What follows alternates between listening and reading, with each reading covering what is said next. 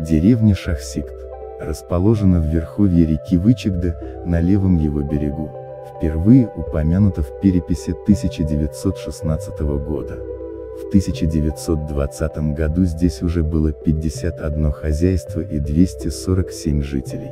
В 1959 году проживало 168 человек. В 1965-1967 годах деревня вошла в состав села Пожик как местечко Шахсикт.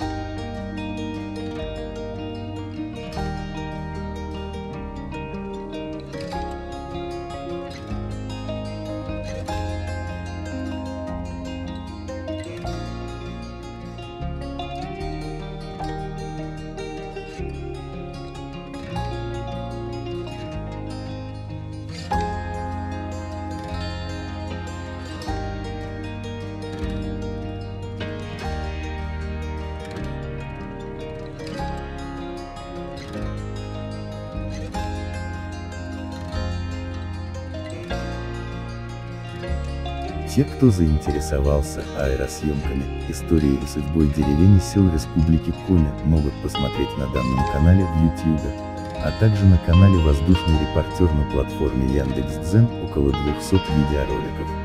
Съемки производились в Усть-Куломском, Карткировском, Сосногорском, Троицко-Печорском, Койгородском, Усимском районах, а также городском округе Ухта Республики Коми.